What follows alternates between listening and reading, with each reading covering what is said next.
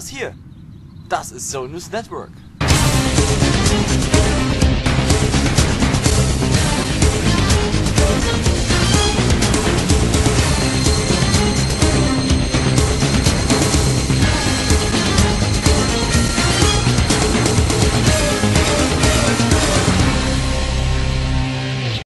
Und das sind die Themen. Stalker, ist bei Jupiter gelungen, als Hologramm zu fangen.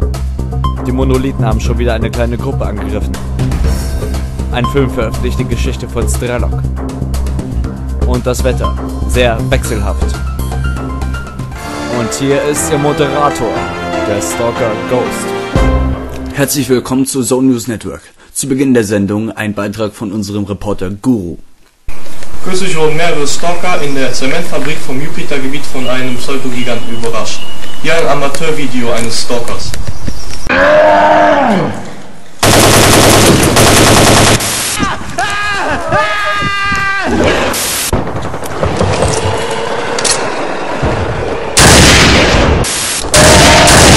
Der unerbittliche Kampf forderte die Hälfte der Gruppe. Ich habe gesehen, wie meine Leute von dem Vieh abgeschlachtet wurden. Ich sage euch, ein Stampfer und ihr werdet nahezu bewusstlos. Mal abgesehen von den verdammten 15 cm Krallen, die dieses Vieh hat. Ich habe es mit Kopfschüssen versucht, haben nicht viel gebracht. Also habe ich versucht, auf eine Schusslinie mit dem Rückenteil zu kommen. Den verbliebenen Stalkern ist es jedoch gelungen, den Pseudogiganten so zu locken, dass dieser in einen Wartungsschacht gefallen ist. Dessen Öffnung haben sie dann sofort mit einem Gitter versiegelt, wo Mutige die Mutanten momentan begutachten können. Dies dürfte für die meisten wohl die einzige Chance sein, ein derartiges Wesen zu sehen, ohne dabei zu sterben. Dennoch sollte man sich beeilen, denn die Vertreter der Wächter und der Freiheiten der Janov-Station haben beschlossen, das gottlose Mistvieh, wie es einer der beiden nannte, so schnell wie möglich abzuschießen, um einem Ausbruch vorzubeugen. Was mit dem Leichnam geschehen soll, ist noch ungewiss. Laut Aussage eines der Überlebenden soll es schon mal in den Hallen zu einem Zusammentreffen mit einem hochgefährlichen Mutanten gekommen sein. Die Stalker konnten sich aber noch rechtzeitig retten. Ob das Objekt durch den Vorfall erstmal von Lornan gemieden wird, ist unklar. Es ist aber zu befürchten, dass sich dort durch die optimale Lage durchaus auch Banditen sesshaft machen könnten. Durch den gefürchteten Gravitationsschimmel wurden gestern Mittag in Jante an die 20 Snorks den Erdboden gleichgemacht. Sacharow meinte allerdings, dass es auf die Angst der Mutanten vor etwas Größerem ausgelöst werden musste. Zum Beispiel einen Pseudogiganten. Das wäre der erste seit fünf Monaten, der sich in dieses Gebiet vorwagen würde. Eine Fünfergruppe neutrale Stalker ist am Donnerstag von Monolithen überrascht worden. Sie hatten es sich gerade in einem verlassenen Betrieb gemütlich gemacht, als aus allen Richtungen auf ihnen das Feuer eröffnet wurde. Nach einem harten Gefecht jedoch konnten sie sich jedoch fast alle unverletzt retten. Jedoch ein Stalker verlor an dem Ort sein Leben. Hier eine kurze Schilderung von einem der Überlebenden. Sie haben die Kugeln weggesteckt wie nichts und ständig etwas in einem Wunschgönner gerufen. Das war echt zum Fürchten. Wieso die Monolithen in letzter Zeit vermehrt so weit abseits des Kraftwerks auftauchen, bleibt ungelöst. Bis jetzt gab es auch noch keinen Monolithen, der darüber eine Aussage gemacht hat. So, und jetzt zu etwas Erfreulichem. Zum ersten Mal hat sich eine außerzonische Firma mit dem Thema Stalker auseinandergesetzt. Der noch unbekannten Filmschmiede Sonna Produzioni ist es gelungen, die sagenumwobene Geschichte des Stalkers Strelok in den Film Catch Me If You Can The Strelok Story auf die Leinwand der Kinos zu bringen. Seit ungefähr einem Monat läuft der Trailer in den Kinos. Die Uraufführung ist nächsten Montag im Lichtspielepalast in Kiew geplant. Aber genug der Worte, hier der Trailer.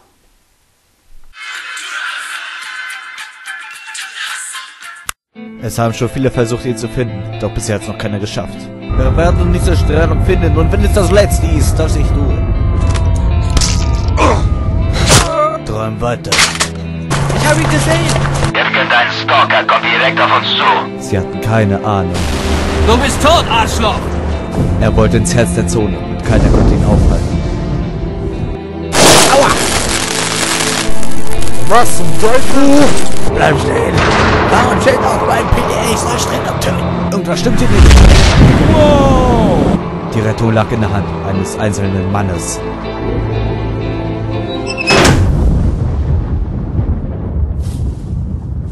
Offiziell wird der Film innerhalb der Zone wohl nicht gezeigt, da einfach die nötigen Spielhäuser fehlen. Doch es ist zu erwarten, dass der Film schon seinen Weg zu den Zuschauern findet. So, und nach der Werbepause kommen wir dann zum Wetter.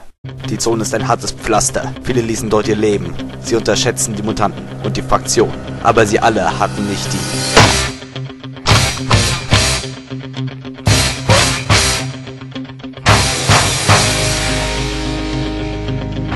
AKS-74 im Kaliber 545 x 39 mm. Sie geht nicht kaputt, hat keine Ladehemmung und überhitzt nicht. Da Magazin bis zu 60 Schuss in einer Kante bis 600 Schuss pro Minute können Sie den Gegner in einem Gewitter aus Blei verschwinden lassen.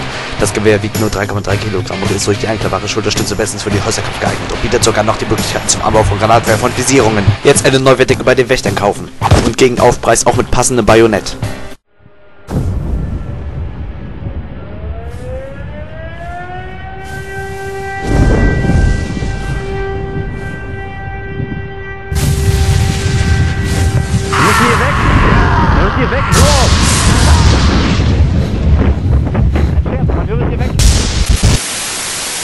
Lieber sofort das Emissionswarngerät der neuesten Generation kaufen, damit es keine tödlichen Überraschungen gibt.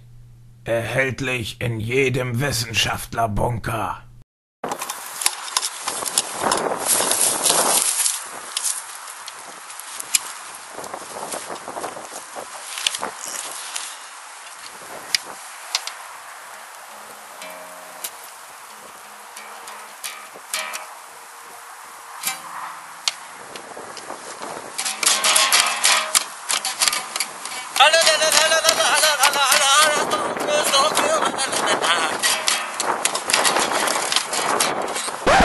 Es reicht. Schluss mit diesem Katzenjammer. Genießen Sie die gemütlichen Lagerfeuerabende und laden Sie Sidorowitschs Gitarre nieder für die Zone runter. Natürlich mit den bekannten Liedern wie Das Lagerfeuerlied. Er war ein guter Stalker. Der Blutsauger oder Premiat oh Premiat.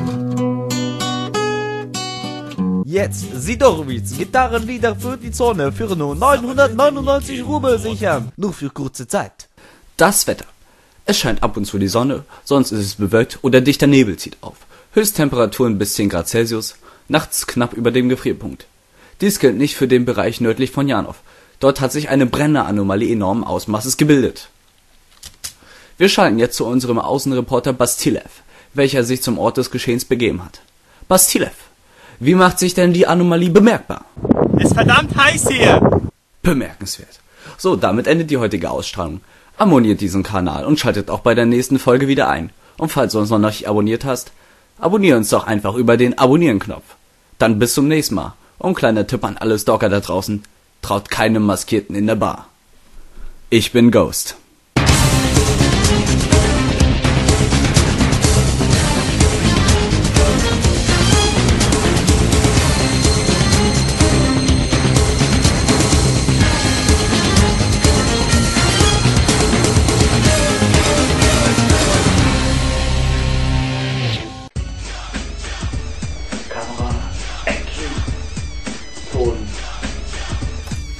Action.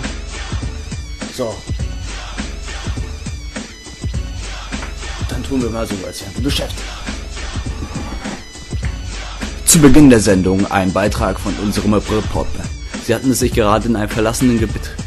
Durch den gefürchteten Gravitationsschimmel wurden gestern Mittag in Janta an die 20 Schnorks den Boetbrunnen bei. Fuck! Ist es gelungen, die sagen oben oben eine Geschichte des. Fuck! Habe ich schon wieder so weit angefangen. Ist es gelungen, die sagen und eine Geschichte des Stalkers Strelok auf die Leinwand zu bringen. Äh, mit dem Film.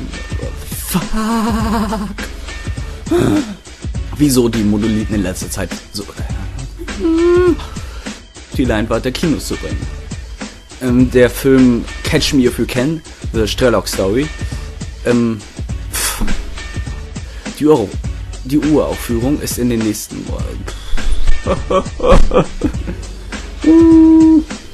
Der Trailer des Films Catch Me If You Can, The Strelok Story, läuft schon seit einem... ich kann es einfach nicht. Das Wetter. Es scheint ab, dass der Film schon seinen Weg findet. So, nach der Werbepause kommen wir dann zum Wetter.